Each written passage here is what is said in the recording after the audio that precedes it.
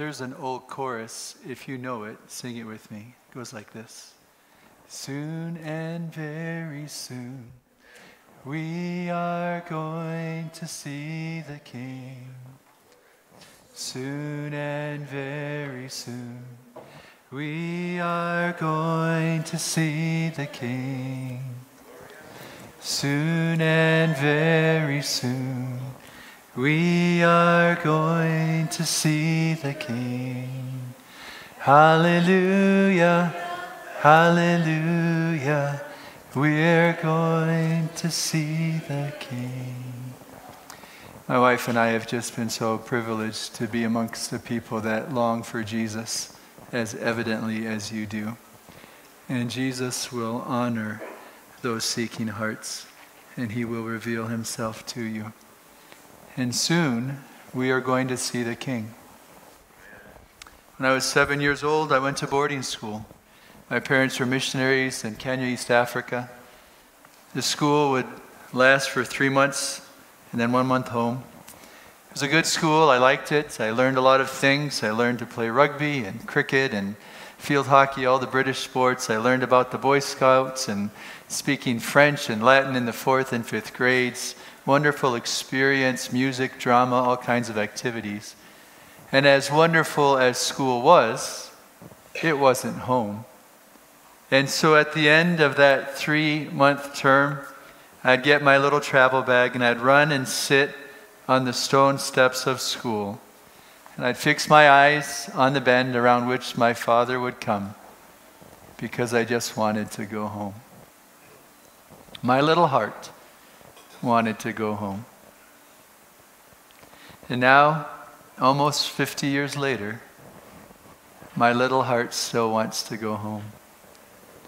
I do not belong in this world, and neither do you if you bear the name of Christ. This is not our home. We are pilgrims, we are strangers, we are aliens, we are just passing through. I am a missionary because I want to go home. It is my belief this morning that sitting in this room are some men and women that God is calling also to be missionaries because you want to go home. And all through the ages, men and women of God have prayed the prayer that we so eloquently sang this morning. It is one of the very few Hebrew phrases that is not translated in the Greek versions of the New Testament because everybody knew what it meant. Maranatha, our Lord come. And that prayer has been prayed for 2,000 centuries. Jesus, come and take us home. Our world is broken, it is deceitful, it is wicked, and it's not getting better, nor will it. With all the advances in science and education and industry, we're just better at greed, better at killing one another, better at being selfish, and none of this will be broken. These cycles of sin and decadence, it's only going to get worse until that great day when the trumpet sounds and the sky recedes and the Lord descends. And in a moment, in a twinkling of an eye, we shall all be changed, and death will be swallowed up by life, and we will put on the incorruption, and we will evermore be with the Lord. I long for that day, and the Spirit longs with all the people of God through all the centuries of time that the King would come and the new creation would be restored, and we would ever be with our Lord. But the Bible is very clear that the path to that day goes through the nations. The gospel of the kingdom will be preached in all the world as a witness to every nation, and then the end will come. Therefore, for all those who long for his appearing, missions is not optional. And every single one of us must play our part for the gospel to go to the ends of the earth so that the longing of our heart, what we have prayed for this morning, what we have sung over this morning, would be realized and the King would come in power and glory. But it is connected to the globalization, the, the evangelization of the world. And everyone has a part to play with that, even as Jesus did. John 20, verse 21 says, We are sent as Jesus was sent. And so, very simply today, I want to look at three ways Jesus was sent and ask that we would follow in those steps. We see that Jesus was sent to fight, and Jesus was sent to bleed, and Jesus was sent to pray. Mark chapter 11, it is the last week in the life of Christ. He has set his face as a flint to go to Jerusalem. He has resisted all of the manipulations, even of his own followers, to fix the world as they knew it, to deal with the Romans, to become a political king and he shows that he's not about changing policy. He's not even about politics. He's about something much greater to die for the sins of the world.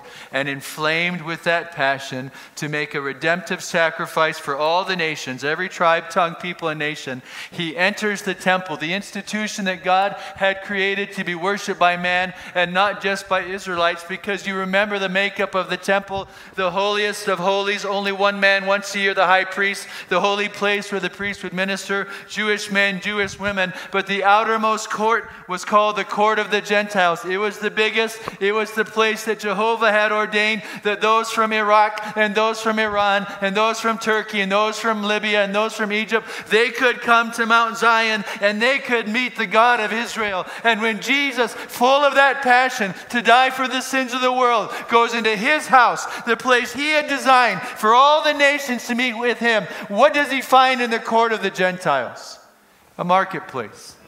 People are buying and selling.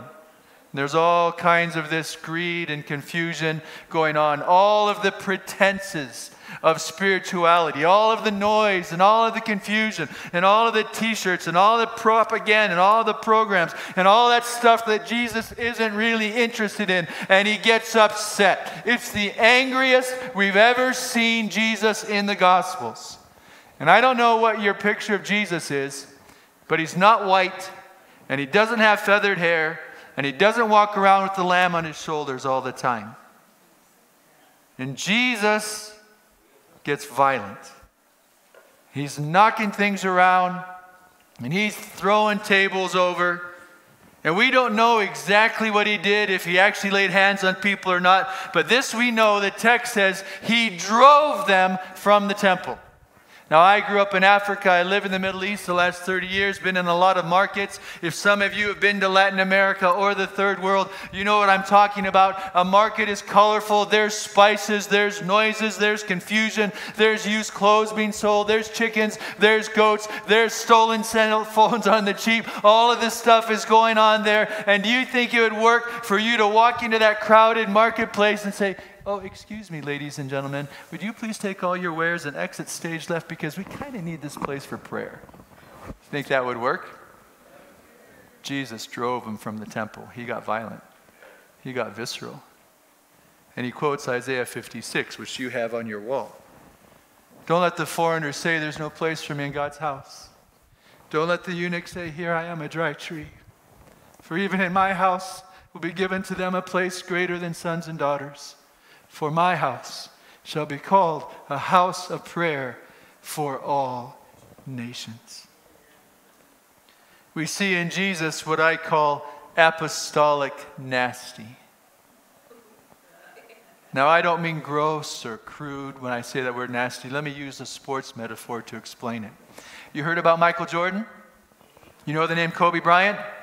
You know the name Tiger Woods? You know the name Muhammad Ali? You know the name Tom Brady?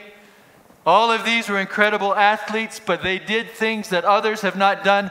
They won multiple championships at the top of their game. And what made them different from everyone else? You know, at that top level of professional sports, everybody's good. Everybody's athletic. Everybody was the best in their high school and the best in their college, drafted, and they all have the same coaching. They all have the same nutrition experts. They all have the same workout regimens. What made all those guys win all those championships? They had a little bit of nasty. And they weren't just going to win you on the final, they were going to beat you in practice. They were going to beat you to the bus. They were going to beat you at Tiddlywinks. And they were going to enjoy doing it, right? They had something up here that made them a little bit nasty. I think it's time, again, in the household of faith, for us to capture a little bit of nasty.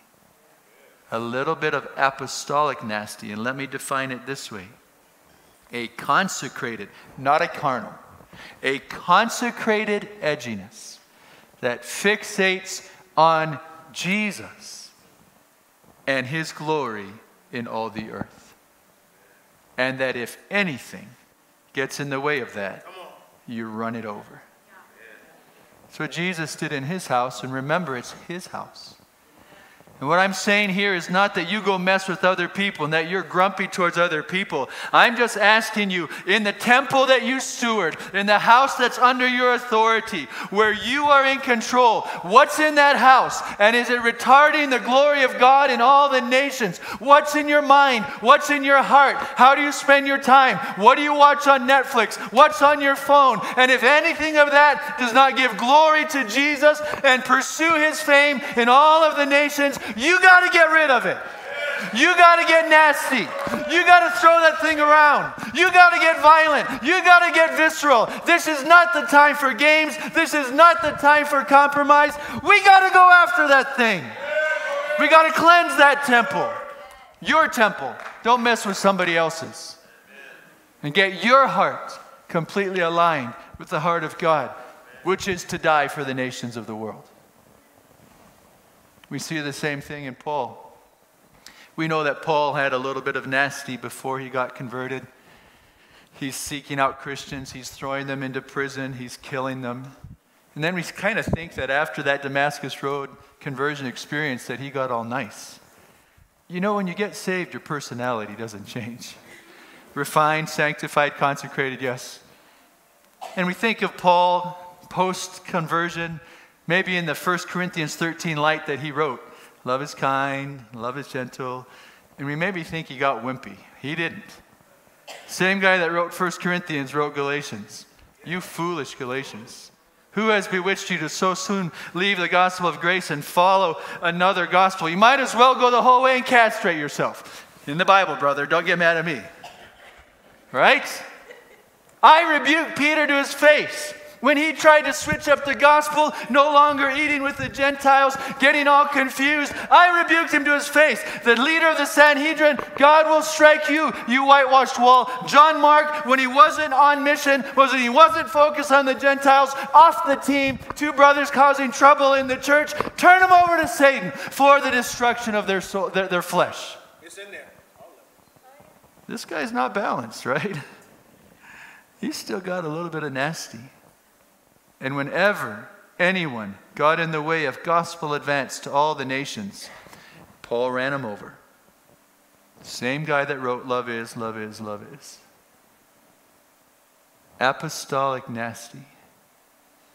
A consecrated edginess that focuses on the worth of Jesus and his glory amongst all people. And we run over anything that's in the way of that. You might be thinking, good for Jesus, Son of God. Good for Paul, greatest missionary that ever lived, but I'm just a mom at home with little kids. Some time ago, my wife and I were in the country of Oman, where Satan has his throne. It's in the Arabian Peninsula. There's so few indigenous believers. In fact, there's probably more Starbucks in the country than there are local believers. We were staying with a missionary family, got up one morning, went into the kitchen, and there was this young mom. She had a little toddler in a high chair, eating Cheerios, one Cheerio cutely stuck on the little toddler's head. Worship music, kids' praise coming across the player, and light streaming through the window. A very nice little domestic scene. And I looked over at the sink where there was white ceramic tile, and there that young mother had written in her elegant cursive, It's wartime. Doesn't matter who you are. Doesn't matter where you live. Doesn't matter if you're male or female or young or old or black or white, Hispanic. Doesn't matter. We are to fight as Jesus fought for his glory in all the earth. And that should be a fire that burns in our bellies. Why? So we can go home. We fight as Jesus fought, we also bleed as Jesus bled. The United Arab Emirates It's where Dubai is, or Abu Dhabi was formed in about 1972 into a country. Before that, it was called the Trucial States because all these little tribes, with their leaders called a sheikh or an emir, they formed a truce with England for political protection.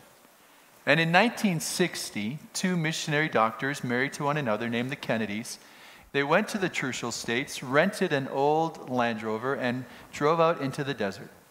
They came to a town of about 1,500 people, or catchment area. It was an oasis. And there they found a woman who was struggling to give birth. She'd been in delivery trials for three days. They diagnosed that her bladder was so distended with urine that she couldn't deliver the baby, but they didn't have their medical instruments. And so Dr. Kennedy, the man, he went to that Land Rover, popped open the hood, looked around in that engine for the smallest diameter hose he could find, cut it out, made a catheter, inserted it in the lady, drained her bladder so that his wife could deliver a healthy little baby. The sheikh, the, the chief of that area, was so impressed with that, he said, I know who you are. I know you're missionaries. I know you believe things different than us, but you just saved this woman's life and the baby. I give you permission to start a clinic here. Come save the lives of our women and our children. So they did. You might know that when a Muslim baby is born, the very first words intentionally that are whispered in the ear of that Muslim child is what is called the Shahada, the Muslim confession of faith, which says, I confess that there's no God but Allah and Muhammad is the prophet of Allah. Well, Dr. Kennedy, the woman, when she would deliver those Muslim babies, would lift them up and whisper in their ear, but a very different prayer. and then she would go visit those babies in their homes at week one and month two and six and nine in a year and tell Bible stories to the moms and the children. And those little children that were prayed over in the name of Jesus and then visited in their homes by the Kennedys grew up to do some interesting things. For you see, the sheikh, the chief that gave them permission to do that little clinic, became the founder of the United Arab Emirates. His name is Sheikh Zayed. And one of the very first babies that Dr. Kennedy delivered was his son named Mohammed. And Mohammed bin Zayed is now the crown prince of Abu Dhabi, the richest of all the Emirates. Last year, he was voted the most powerful Arab in the whole world. He's behind the tolerance coming out of the Emirates. He has discipled the crown prince of Saudi Arabia, and that's where we live. Saudi Arabia is a different country as the crown prince is opening up for all kinds of wonderful things. He's behind the peace agreements that are being signed with Israel by some Arab countries. And that little boy, Muhammad, was born into the arms of Dr. Kennedy, prayed over in the name of Jesus, and has grown up to change his world. And here's my point. Amen. Why do I tell that story under this point of bleeding as Jesus bled? You see, in the early days of that clinic, they didn't have generators or fridges, and so they didn't have a blood bank.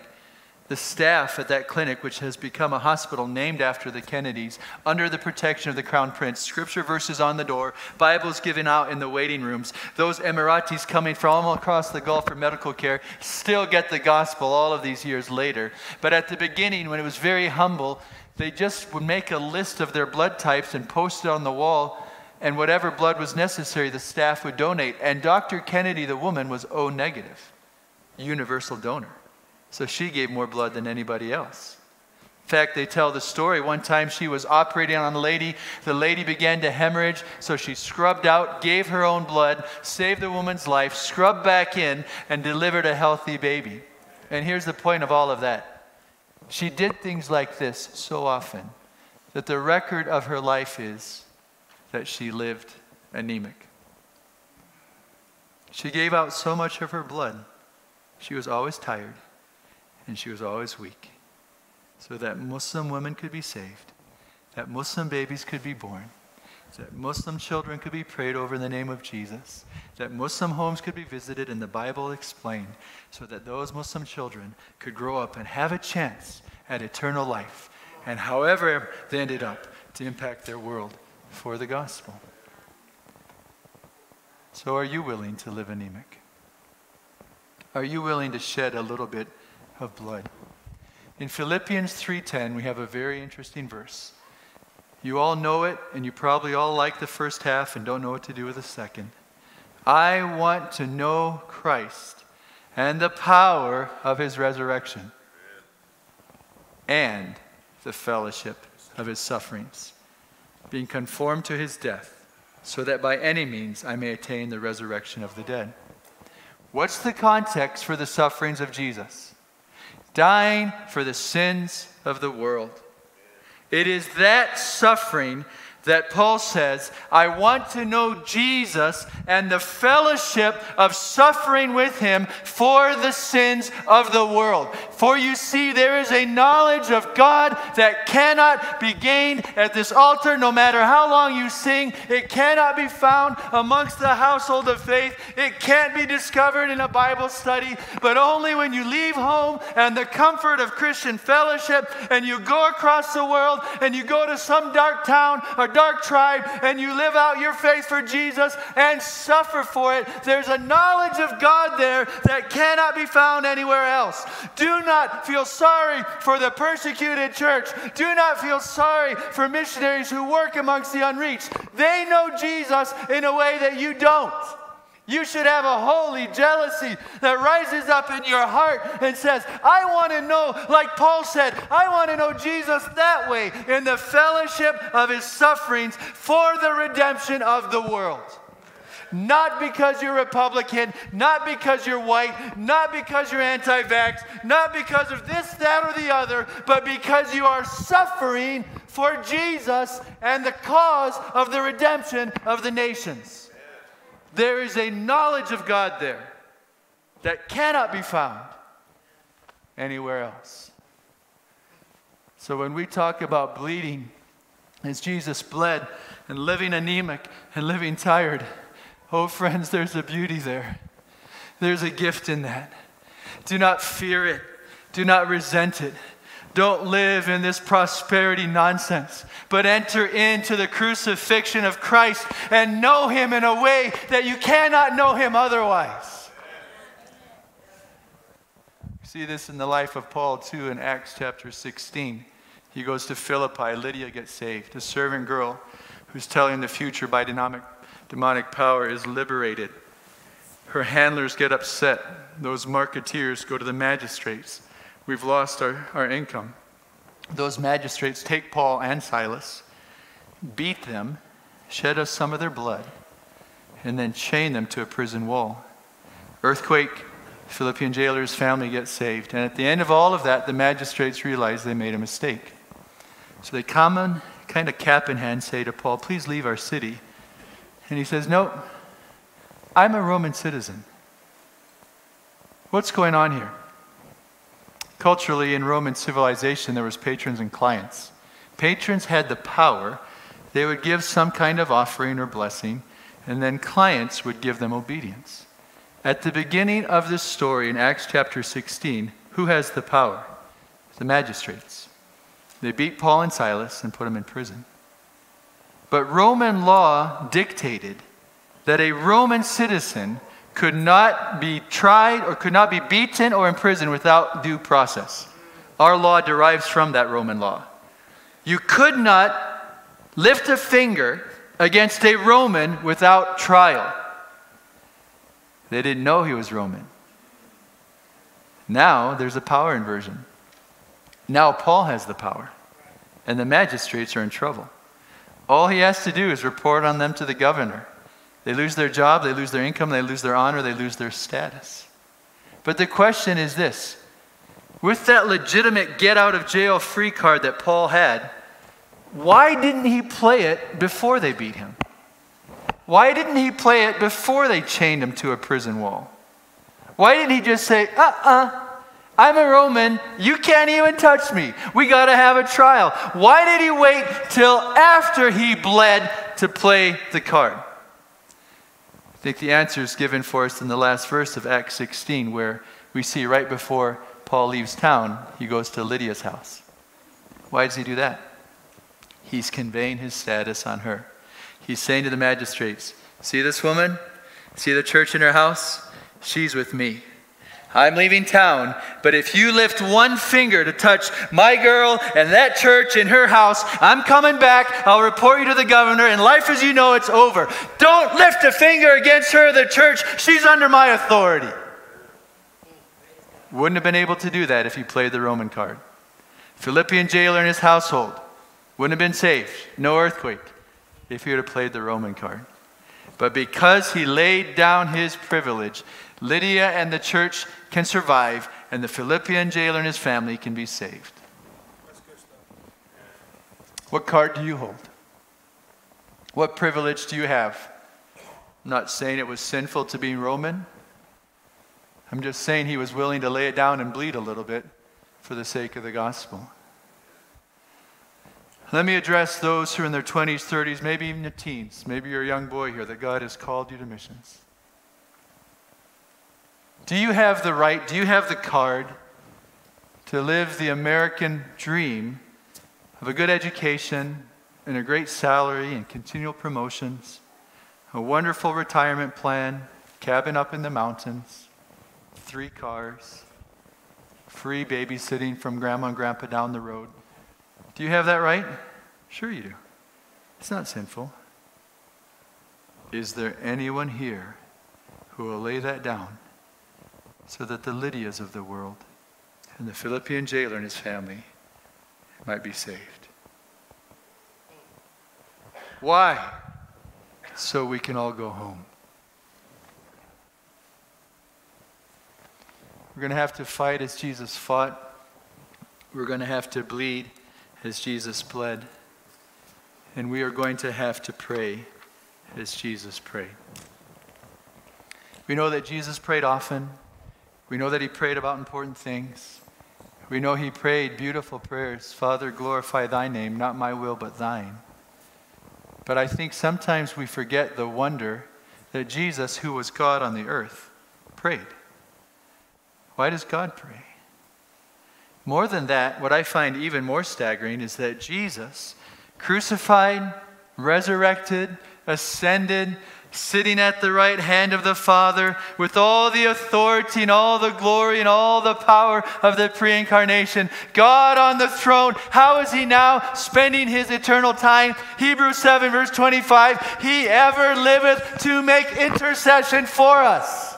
God on the throne is praying. God on the earth praying. What should his people be doing? Praying.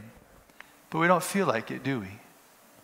Or we pray when we're all hyped up, and then back at home when nobody's singing for us, we struggle. I'm not immune to this. A few weeks ago, we live in Jeddah, Saudi Arabia. I was walking the streets at night. I was having a conversation with Jesus. And I was just being honest. I said, Jesus, I don't feel like praying right now. I'm tired. Tired of praying. I'm tired of witnessing. I'm tired of discipling.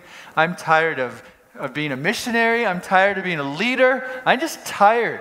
I want to run away somewhere and go flip hamburgers in Wyoming where nobody knows my name. No pressure. Nobody asks me for anything. I don't feel any of the weight of ministry. I just, I don't want to do any of it, Lord. And this is a problem because I write the books and I visit churches like I'm doing right now and tell people to bleed and to fight and to pray, and I don't feel like praying. We got a problem, Jesus. What are we going to do? And the Lord brought my wife, Jennifer, to mind, who likes tiny houses. Do you guys know what tiny houses are? I don't like them. I have no interest in tiny houses, but I have a lot of interest in my wife. So when she comes and says, Hey, honey, look at this tiny house, I'm like, That's awesome. Show me another one. you know what I'm talking about, right? So I said to Jesus, Honestly, Jesus, I'm tired. And I don't feel like praying. I don't feel like doing any of that stuff. But I love you. And I know you're interested in this. I know you gave your blood that every tribe, tongue, people, nation might be represented around the throne. I know you're very interested in this. So I'm going to wrestle my rascally heart to what you're interested in, whether or not I feel like it. Doesn't matter if we feel like praying. Doesn't matter if we feel like being a missionary. Doesn't matter if we feel like praising the Lord. Doesn't matter if we feel like evangelizing. Doesn't matter if we feel like discipling anyone. You know what matters? Do we love Jesus? And do we want to go home? If so, we wrestle our rascally hearts to what He's interested in. And we say, Jesus, because we love you, we will do this. 1942, Winston Churchill was the Prime Minister in England. Difficult time in the war. England, of all of Europe, was the last one standing, and the coal miners go on strike. They provided the coal that kind of fueled the British war effort, and so it's a problem for Churchill. He goes to meet with them, gives a famous speech, and I'll paraphrase it this way. He simply said, We're going to win the war, and when we do, we're going to have a big old parade. At the beginning of that parade will come the Air Force who defeated the Luftwaffe and won the Battle of Britain. They'll be cheered. Then will come the Navy who took our supplies to our allies around the world, and they'll be applauded. Then will come the army who took their ground and spilt their blood, and they will be praised.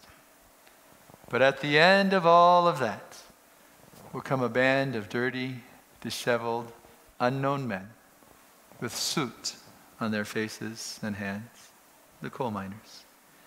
They will be asked, Where were you guys in England's darkest hour? And they shall reply, We were deep in the earth with our faces to the coal. We cut the coal that won the war. Revelation chapter 7, verse 9 tells us how it all ends. A multitude from every tribe, tongue, people, and nation around the throne. We're going to win the war. And when we do, we're going to have a big old parade. And at the front of that parade will come the apostolic fathers. And after that will come the saints of the patristic period. And then the wonders of the Middle Ages, the St. Francis, the Aquinas. And then will come the great missionary heroes of the great centuries. Taylor will be there. And William Carey will be there. And Trasher will be there. And Trotter will be there. And then will come the giants of our age. Billy Graham will be there. And all the men and women of God. And you know their names. And they will be cheered. And they will be praised. And they'll get their applause. And at the end of all of that, come a little grandmother from Colorado. Lives on her Social Security retirement check. Gets up every morning, thumbs through her missionary prayer cards. Nobody sees her, but she's down on her knees praying. And they'll come Somebody from the Chinese underground church who's been in prison for 30 years couldn't even talk to anyone because they were in solitary confinement. But every morning and every night in that cell, they'd get down on their knees and beseech the Lord of the harvest to send forth laborers into the harvest field. Now come a little boy from the Congo. Never finished school, doesn't even have shoes, can't read, doesn't even have food on his plate. But he gets down on his knees and prays that Jesus shall reign wherever the sun doth its successive journeys run. His kingdom spread from shore to shore, and they will receive their reward.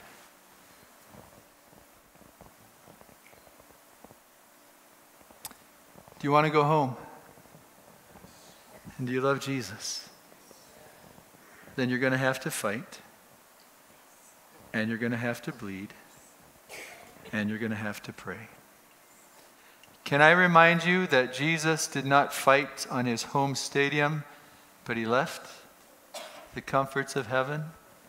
When we're talking about fighting apostolic nasty, that consecrated edginess for the worth of Jesus, his glory amongst all peoples, we're not talking about doing that at home.